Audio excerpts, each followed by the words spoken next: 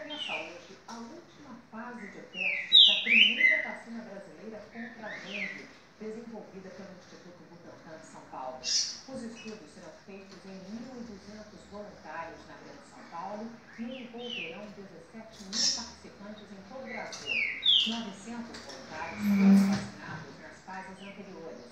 Os dados mostraram que a vacina é segura e induz o organismo humano a produzir anticorpos espera que a vacina esteja pronta até 2018. O uso de energia nuclear para exterminizar o mosquito Aedes é tema de um encontro promovido pela Energia, pela Agência Internacional de Energia Atômica em Brasília. Então lá em Brasília para conversar com a Letícia de Oliveira, que está acompanhando esse encontro.